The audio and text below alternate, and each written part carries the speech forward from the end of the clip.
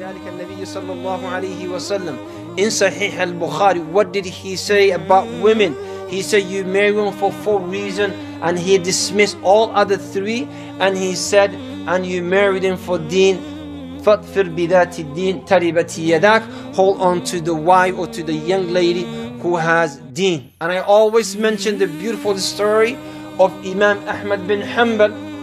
When Ahmad bin Hanbal finished his education and he decided to be imam or teacher or sheikh or mufti of the masjid, he decided also to get married. So he went to his habariyaro, to his habo.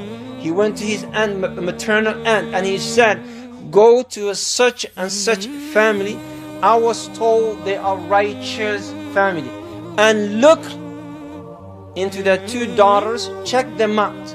See how they look like, see the deen, come back so I can propose to them if they good.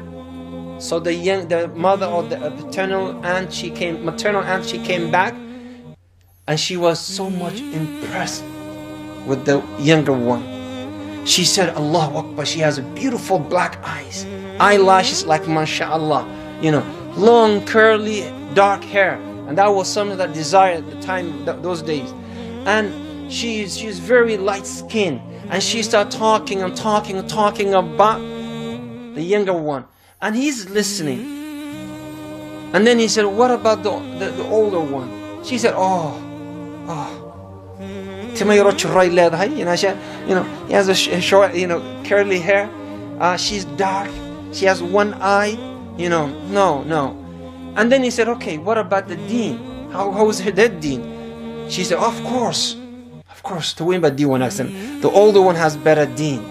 He said, I want to marry that one. I want to marry the one with the deen.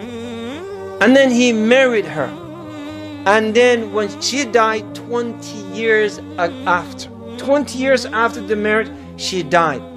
And when he was burying her, when they were in the, the burial in the cemetery, at her, around her grave, he looked at the grave and he said, Rahim Allah Umm Salih. May Allah have mercy on Umm Salih. ما خالفتني أو أغضبتني يوما she did not disagree with me one single day.